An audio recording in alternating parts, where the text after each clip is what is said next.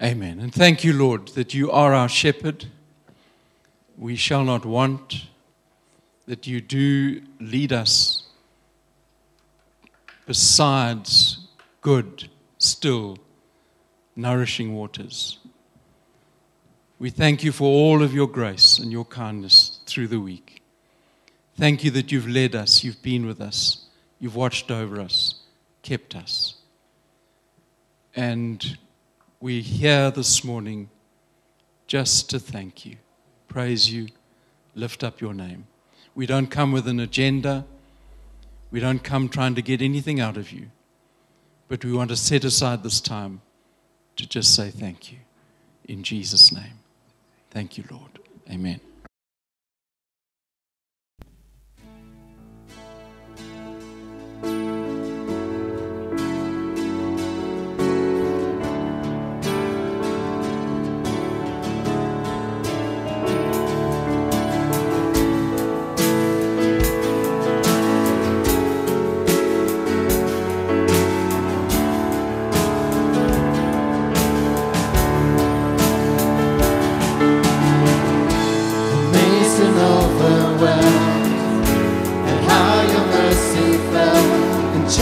As hard as mine.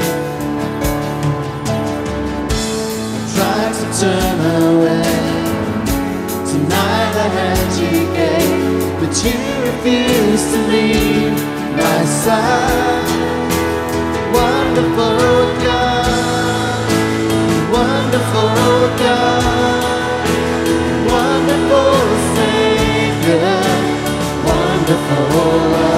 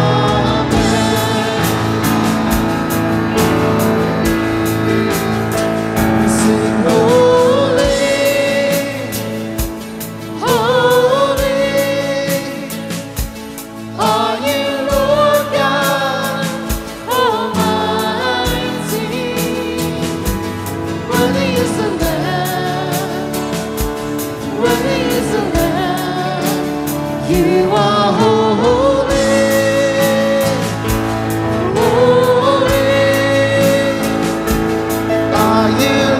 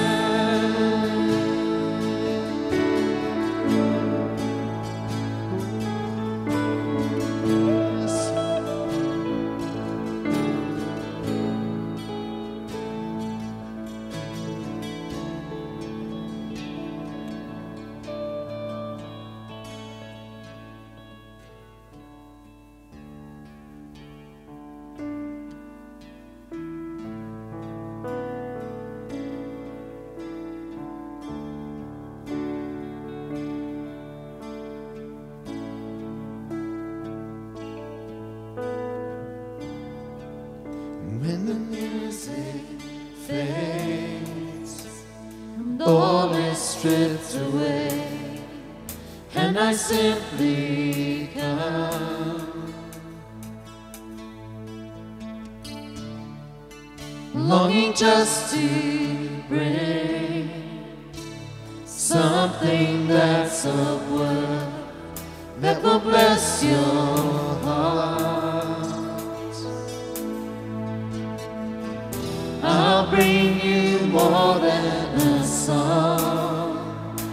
The song in itself is not what you have required. You search much deeper within through the way things appear. You're looking into my heart.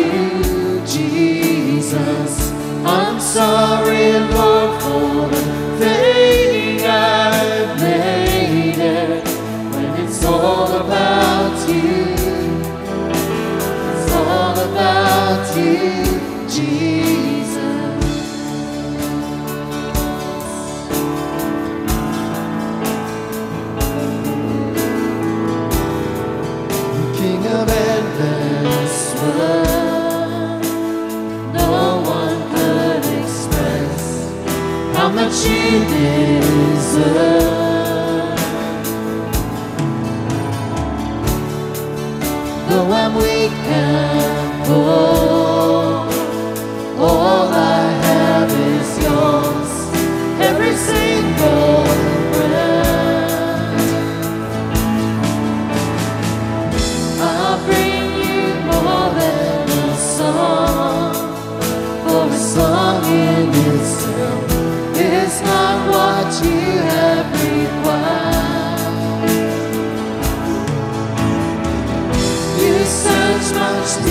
away.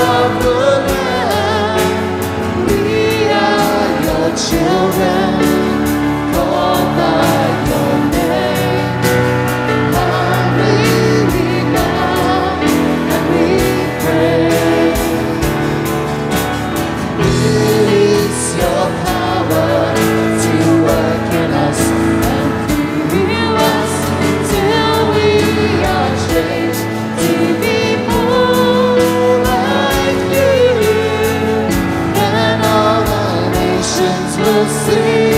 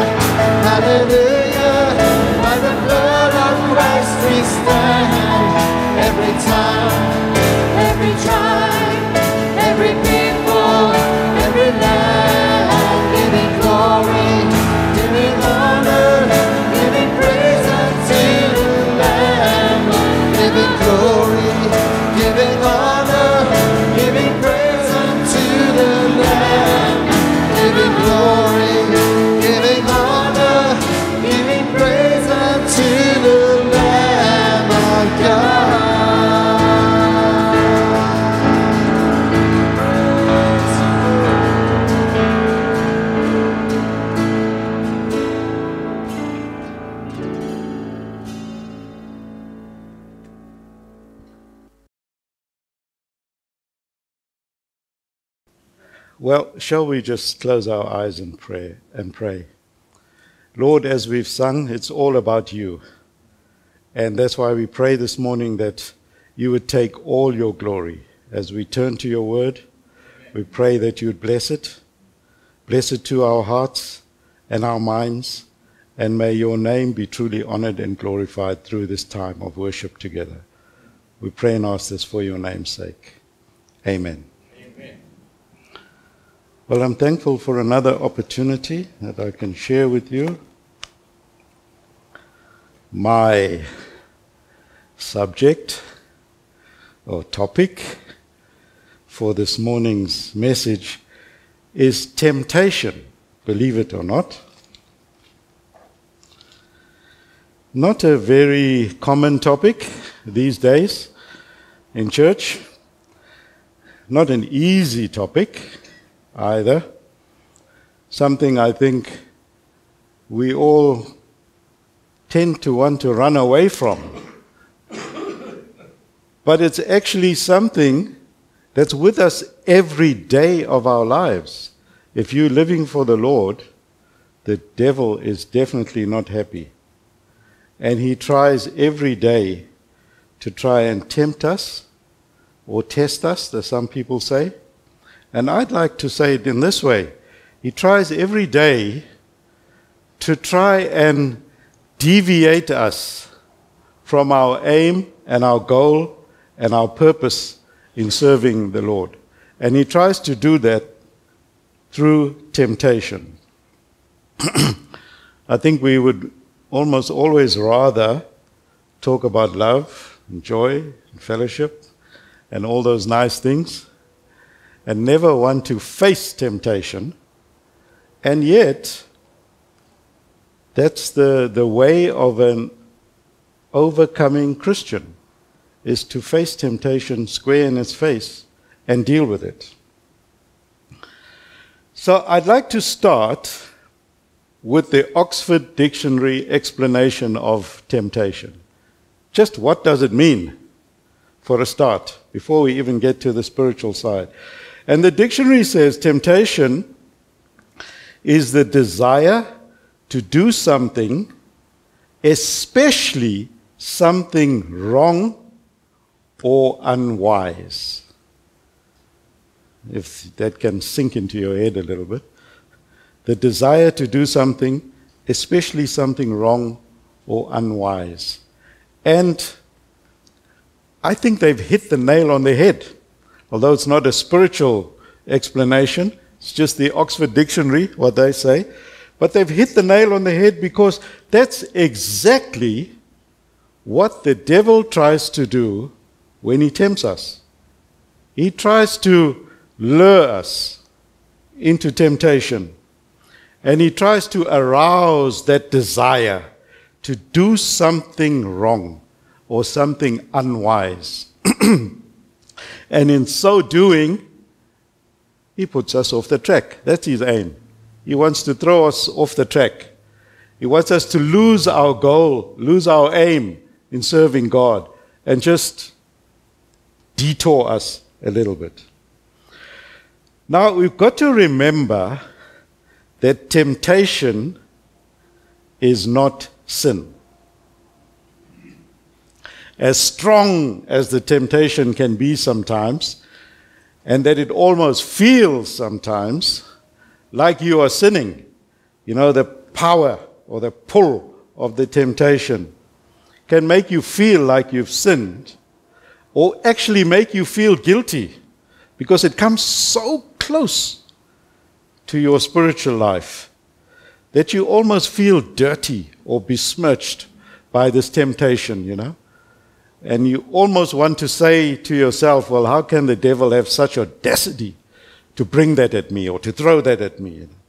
But if you haven't given in, if you haven't succumbed, you have not sinned.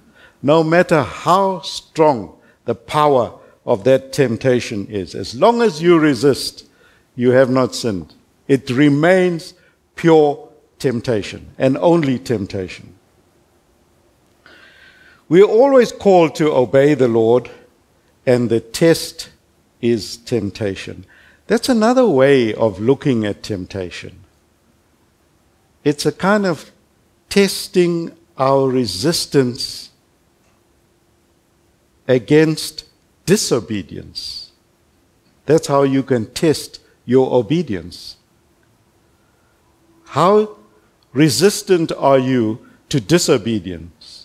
And that will prove your obedience to God. Our resistance to temptation is a sign of our obedience to God. If you've ever thought of it in that way. So, like we've said, obedience to God is simply maintaining, if you want to put it in an easy, simple, everyday language, it's simply maintaining your focus at all times. In other words, don't take your eyes off Jesus. Keep your eyes fixed on Him. And no matter what temptation comes your way, if your eyes are fixed on Him, you will always be obedient to Him and you'll be able to resist the temptation. Because all he wants to do, remember the de- devil is a defeated enemy, eh? Is a defeated foe. All he wants to do is very cunning, very clever. All he wants to do is deter you from your focus, deflect your thoughts from whatever you want to do, where your thoughts are laid up on God and the things of God. He wants to deflect you from that. And he wants to just bump you or push you off the track. That's his uh, aim and his purpose. And or sometimes he wants to just make you close one eye. Just, you know, temptation can be just a little bit of compromise sometimes. And then he's got you. You know what they say? Give him a, your little finger and he'll take the whole hand. That's all he's up to. If you can only be aware and awake to that. He has no power. He's just a trickster. That's all he is. And he wants to deceive you and I through temptation. And if you become, or if you are, just a go along everyday Sunday Christian, and you have that mediocre Christian life, happy to go to church on a Sunday and do whatever you like from Monday to Friday, doesn't really matter as long as I'm back in church on Sunday, then he's going to catch you, he's going to deceive you, he's going to throw you off the track because your eyes are not fixed on him every day, or shall we say, all the time. and that's what he wants. He doesn't tell you that he's going to throw you into hell, or you'd keep miles away from him if he told you that. Said, Come here, I want to throw you into hell. You'll run away. He comes so cunningly, so cleverly, and just tries to give you a little brush off the side, push you off the road, and then he's got you. So, as an example of how to resist temptation. What better example can we have than Jesus himself? So let's just start reading Matthew chapter 4 from verse 1. My Bible is titled, that chapter is titled, Satan Tempts Jesus in the Wilderness. And then verse 1 and 2, let's start there. Jesus was led by the Spirit into the wilderness to be tempted there by the devil. And for 40 days and 40 nights, he fasted and became very hungry. Now, I don't believe that this portion was recorded in the Bible to show us how good the Lord is, how strong He is, how powerful He is, and how He can conquer the devil. That's maybe one side of it, one part of it. But I do want to believe that this has been recorded as an example for us. He used Himself, you know, God became man. He's a human being just like you and I with flesh and blood, feelings. He got hungry, he got tired. And he recorded this as an example for you and I to have when we face temptation. In other words, he wants to show us how it's done. So, number one, it's possible, and then how it is possible. And so, he was led by the Spirit. I found that quite interesting. I don't know if you've ever read this before. He never fell into temptation, didn't make a mistake or be overcome by his weaknesses. He was led by the Holy Spirit. In other words, it was God's will that he be tempted. And that's why I said he was tempted for our sakes, to show us and to teach us. And we can be tempted every day of our lives. And we are tempted every day of our lives. As you sit here, you can be tempted not to listen. The devil will come with his little voice and he'll say, Do you know how many light bulbs are in this, in this church? Have you ever counted them? And he's taken you completely off the track. Go on. you don't hear anymore. And then when you're having coffee, you say to your friend, Hey, that was a beautiful service, wasn't it? and you hardly heard half of it. You were counting all the light bulbs and what time the load shedding's going to kick in. then, we, then we get over that hurdle. of course, that's what he does. And it was as if God was saying, Test my son. Test my son. Because he will show you how to do it. Remember in the book of Job, Job chapter 1? Job came when everyone was around, and God actually said to Job, uh, uh, sorry, not to Job, to the devil. He actually said to the devil, He said, Devil, have you tried my servant Job? It's part of life, temptation. God's going to allow it, even though the devil does it. God's going to allow it. And we have to overcome it. We have to pass that test. You know, Job was far from all of us. God said of Job, There's no one on earth like him, blameless, upright, who fears God and shuns evil. So now go and test him. That's what God was saying. Imagine a testimony like that. Imagine if God could say that about you and I. He's upright, blameless, he shuns evil, and you can even go and test him. Go and try him out. I know he'll stand on my side. And we all know what Job went through and how he ended. Job would never let anything obstruct his vision or his focus. Nothing. He lost everything. He was prepared to give it all up. Nothing would cause him to go astray. And I think that's why sometimes God allows us to be tempted, just to test our faith and to see if we can stand by our word in what we've said that we're going to follow him. Now, it's also interesting to see the time frame when this took place. If you read the previous chapter, chapter Matthew chapter 3, It was the time when the Lord was baptized. He was beginning to prepare for his ministry. And an amazing thing happened. Something that's never ever happened on earth before. As he as John baptized him, God's voice sounded from heaven on high and came down and said, This is my beloved Son, in whom I am well pleased. He was accepted, he was acknowledged for everyone to see before God. This is my Son, and he is pleasing to me. In other words, he is ready now for the ministry that I have ordained for him. And you know what? The devil hears that. That's why he was on the, on the Lord's heels. The next moment, he was there ready to tempt the Lord.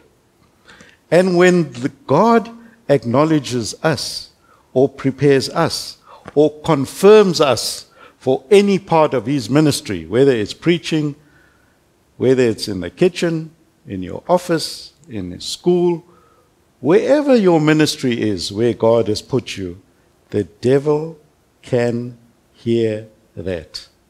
And he knows that. And let me dare say, he's coming for you. But just remember who he is and who you are.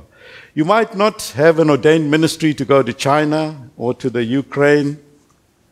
You might be just in your little workshop. That's your ministry. That's where God has put you.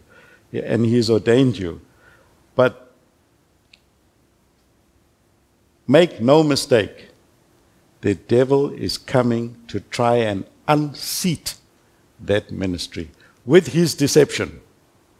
He will try and knock you off focus. So, how does he come now? I'd like to put it in this way. He's got three levels of temptation, or three categories, we can say, or maybe you can even call them three layers of temptation. And the one is found in verse 4 and 5. No, sorry.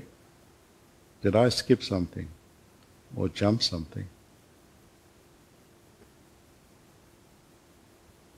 Oh, yes, the first one is um, from verse 3 and 4. Sorry, not 4 and 5, 3 and 4. During that time, the devil came and said to him, If you are the Son of God, tell these stones to become loaves of bread. But Jesus told him, No, the scripture says, People do not live by bread alone, but by every word that comes from the mouth of God. And that first level or first category is always an attack or an attempt on our emotions, our feelings, on the lusts of the flesh. You can imagine how Jesus felt hungry, tired, sunburnt. His emotions were very low. His feelings were low. And he was vulnerable to the flesh, to his emotions. It was very easy to tempt him, if one can say it like that. You know how it is when you're tired or you're hungry and uh, it's so easy just, just to give in to hunger, thirst, and tiredness. It's so easy to do something wrong or do something unwise that will fulfill that desire that the devil rouses up in you. So easy to give in because you're not at full strength. You're not in your full power. And the devil comes to him and says, If you are the Son of God. And I think when I look at it, I think he tried to have a dig at his feelings. He tried to hurt his feelings. You know, when somebody um, accuses you of something, how it can hurt your feelings. You feel wounded, or you be falsely accused of something. You feel wounded. And then you feel like you can hit back. You can strike back. That's the wrong impression you got of me. And I want to tell you how it is. And I think that's why the devil said to him, If you are the Son of God, because he had just been approved for everyone to see, acknowledged by God Himself. The voice came out of heaven This is my Son of God. This is my Son. So He is the Son of God. And here the devil says to him, Just show us now, you know. Show us who you are, what you can do, how great you are. If you are the Son of God, turn these stones into bread. In other words, just do it, man. Show us, prove it, prove us, prove to us who you are. Just do it. And he made it so easy for him to give in to the flesh and to lose his focus and lose his goal and water down his ministry. What was his goal? What did he come to earth for? Why was he born? And why did he die? To save us. And the devil was trying to knock that off the track. If you are the Son of God, just show us your power. Show us what you can do. And that's what the devil sometimes comes to us and says, just do it, man. Just, just do it. Don't worry. Close an eye. Do it. It was like Esau and Jacob in Genesis chapter 25. Esau came in tired from the field, working hard, and there was Jacob in the kitchen making a nice soup. And he said, Just give me something to eat. Give me your soup. And Jacob, uh, Esau, sorry, fell for it. Jacob said, Okay, I'll give you soup. Give me your birthright. And he sold his birthright for a bowl of soup. Wasn't attentive, aware of the focus that he should have, where he was going, what was his goal. He just gave in to his emotions, his feelings, gave in to his flesh, and succumbed to the temptation and took something to eat. But what did the Lord Jesus do? And that's what he wants to teach us. He never displayed his power. He never said, Devil, don't you know who I am? Weren't you there? I'm the Son of God. Do you know what I can do and what I've come here for? What does the Lord do? He answers him with the Word of God. Remember, the Word of God is God. The Word became flesh. The Word of God is God. And that is our most powerful tool that we have against the devil the Word of God. No praying on handkerchiefs, no holy oil, no piece of the crucifix is ever more powerful than the Word of God. That's how we can overcome the devil. And that's why I said this is a lesson, an example that the Lord set before us in how to conquer temptation or overcome temptation.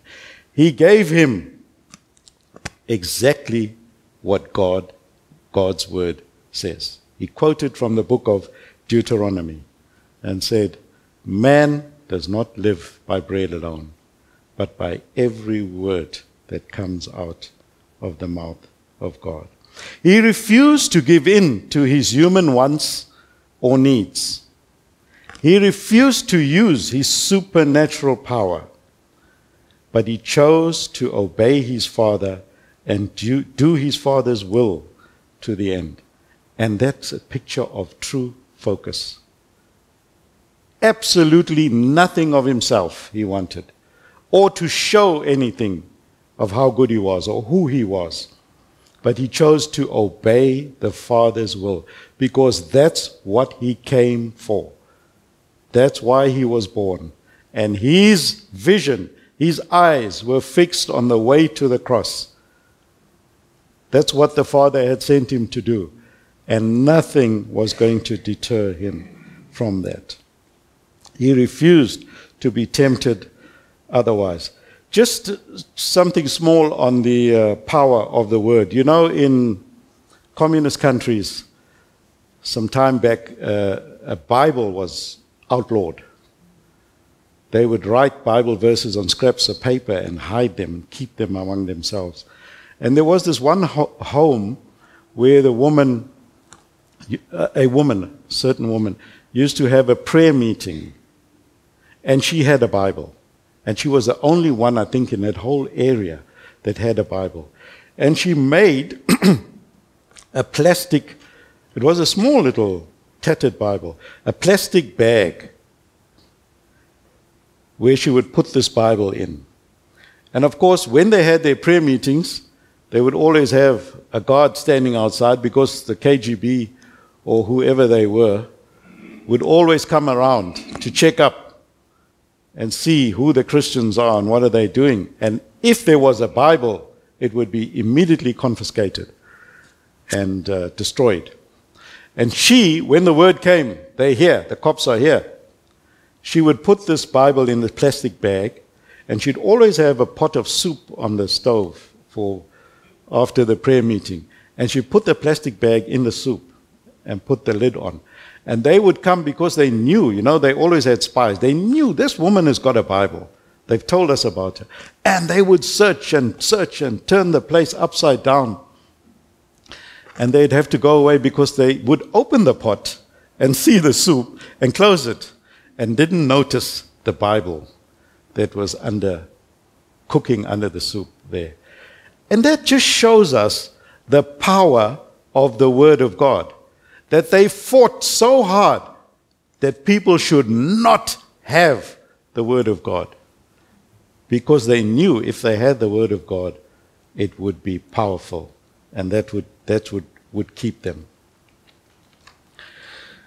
Then, if he can't get your emotions or your feelings, he moves to the next level or to the next layer, which is the intellectual level the level of our head, our thinking, our logic, our reasoning. He's a clever old chap, don't forget, eh? And then in verse 5 and 6, he says that, uh, it says, The devil took him to the holy city of Jerusalem, to the highest point of the temple, and said, If you are the Son of God, jump. For the scriptures say, He will order His angels to protect you. Another version says, For it is written. Just look at the old chap, how clever he is.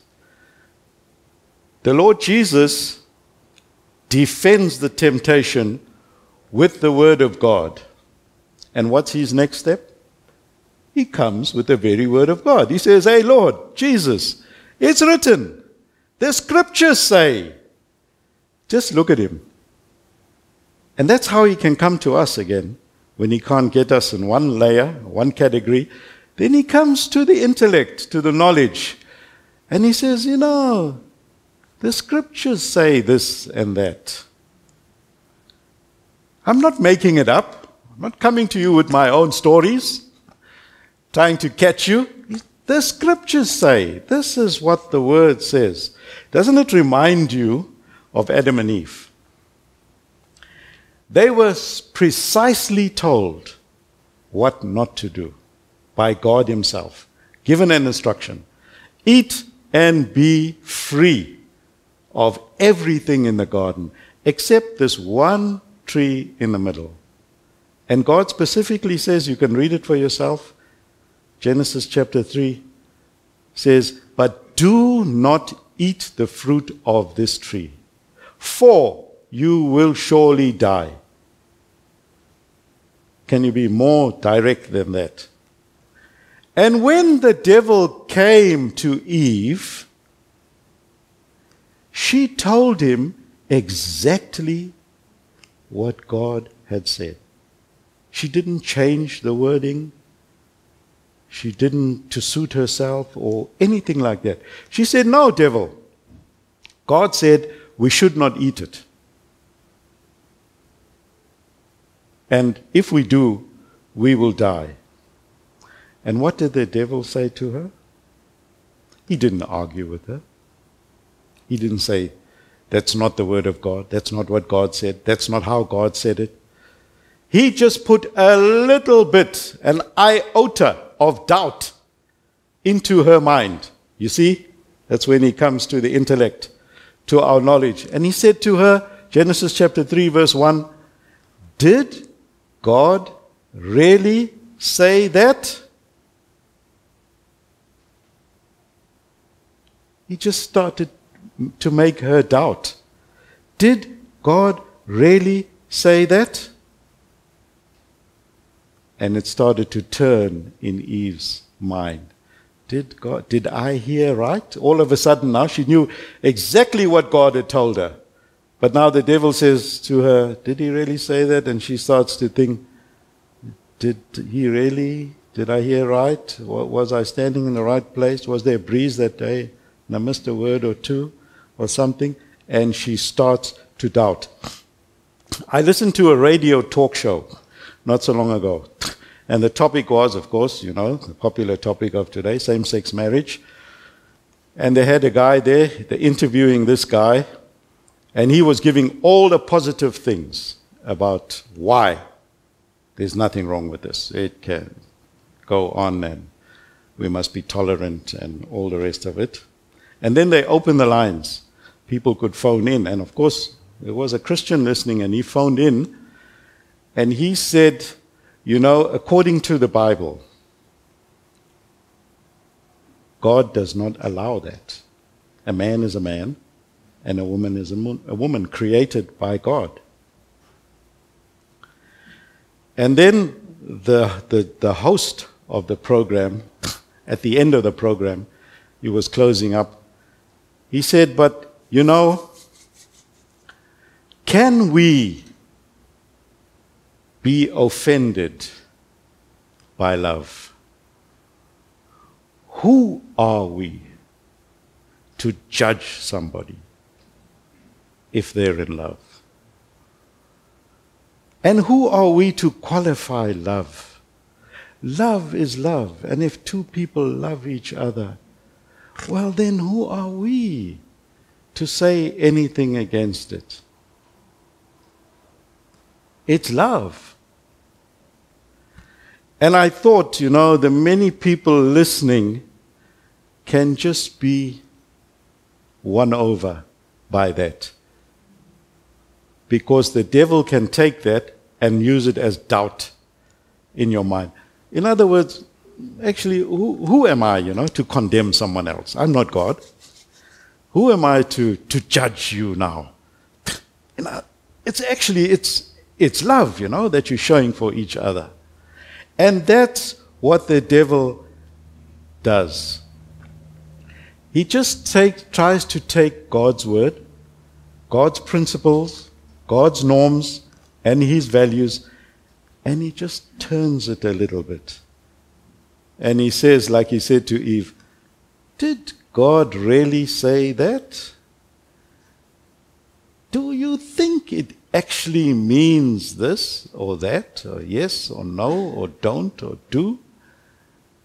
And you know, today everything is relative to who you are and what you believe. But what does God say? That's what you and I have got to answer to. Those are our principles, those are our values, those are our norms. And make sure, whatever they are, whatever faith you belong to, whatever God you believe in, make sure that it's the God of the Bible and that whatever you believe in is based on what the Bible says. Because he's going to come. If he can't get you in the flesh, he's going to come to your intellect, to your reasoning, to your mind. And he's going to sow some doubt there and cause you to go astray and off the track and lose your focus. And then, number three, the third layer of temptation, verse 8. Next, the devil took him to a peak of a very high mountain and showed him all the kingdoms of the world and their glory. I'll give it all to you, he said, if you will kneel down and worship me. And then the Lord rebukes him and says, Get out of here, Satan, and tells him that the scripture says you must worship the Lord your God and him only. Now he tries to jab at the heart. That's the third level. Because he wanted the Lord to bow down and serve him. You know, that was Satan's problem from the beginning. He wanted to be worshipped. That's why he was kicked out of heaven. He wanted to be God. And since that day, he's trying to drag each and every one of us onto his level, down to his level. He tried it with Eve and he got it right. And he tries it with us, and we can only get out of it through the salvation and redemption of our Lord Jesus Christ. He came and died to cause that to be nil. But that's what he tried to do eventually. He tried to make the Lord bow down before him. He, in other words, he said, Give me your heart now. I can't get you in all these other ways. Give me your heart. I want, I want your heart. And he's, he does it now. He's, he, he's run out of tact, actually. And that's where we must get the devil to. That's the point we must drive him to, where he's got no words anymore. He's got, he can't say, do this, do that, and the scripture says, and all the rest of it anymore. He just tells a big, fat lie. And he says, You see, all this is all mine. just bow down, and I'll give it all to you. I'll give everything to you. Whatever you want, just bow down. In other words, I just want to sit on the throne of your heart. Give me that place. And the Lord Jesus has got no more words for him either. Not even scripture is worth spending on him. He just says to him, Away with you, Satan. Forget about it. Stop your nonsense. Get out of here. Vamoos, pack up and go. Get out of here, Satan. That's what the Bible says. You are a liar. Because everything that you have has been given to you, and it won't be for long. It's going to be, the day is coming when it's going to be taken away from you, and you yourself will be destroyed. Nothing belongs to you. Puts him in his place, and that's where we should all put the devil in his place, because he's a conquered enemy. Doesn't it remind you of uh, the story of David, King David and Bathsheba? King David's heart was in the wrong place. The devil captured him, got it right through temptation to get hold of his heart. His heart was entirely in the wrong place. It had slipped, it had fallen. But then Uriah, the soldier, he was a man whose heart was in the right place. David sent him home. He said, Uriah, go home, sleep in your comfortable bed, spend the night at home, and you can go back and fight. Join the army tomorrow morning. And tomorrow morning, where did David find him? Sleeping at the gate in the guardhouse, on the floor probably. And David said, I sent food for you. What are you still doing here? And what did Uriah say? Can you see that heart that's fixed on God, focused? What did Uriah say? My Lord, how can I sleep in my comfortable bed when my brothers are hard at battle, day and night, fighting for the kingdom? And here am I, I'd rather sleep at the gate and experience a little bit of that discomfort, that hardship, that I can bond with them somehow. His heart was where God wanted it to be. And the devil wanted the Lord Jesus to bow down and give him his heart, which was an impossibility. And that's why he had no more words for him. He said, Devil, just get, get going. Just get out of here. Don't waste your time anymore. Get, get going. I don't want to see you anymore. And, uh, dear friends, that's where our hearts should be. And I've tried to paint a picture of resistance against temptation, which is a great lesson to me, a wonderful lesson to me. And that's why I thought I'll pass it on and share it with you. And I hope and I trust that you've gained something from it and that your eyes will be fixed on the Lord no matter what the temptation. And in closing, I'd like to read uh, 1 Corinthians 10. You all know that uh, verse. No temptation has taken hold of you, such that is common to man. You know that one so well. But I read it in the Amplified Version, and it really stood out for me. And I'd like to read the Amplified Version for you 1 Corinthians 10, chapter 13, in closing. It says, No temptation, regardless of its source, has overtaken or enticed you that is not common to human experience. Nor is any temptation unusual or beyond human resistance. But God is faithful to His word.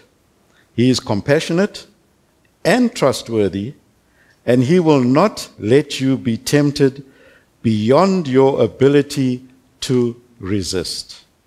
I think you need to underline that. As weak and as almost overcome as you feel sometimes, remember God will not let you be tempted beyond your ability to resist. And we all have our own level of ability, we all have our own personalities. but along with the temptation, He has in the past and is now and will always provide the way out as well, so that you will be able to endure it without yielding and will overcome temptation with joy. Amen. Thank you. Shall we pray? We thank you, Lord, for your word this morning, and we pray that it has uplifted us, given us ammunition in our pouches to go out in this new week that we face and face the devil, face the temptation and overcome in your glory and in your power. We pray and ask this, trusting in your name. Amen.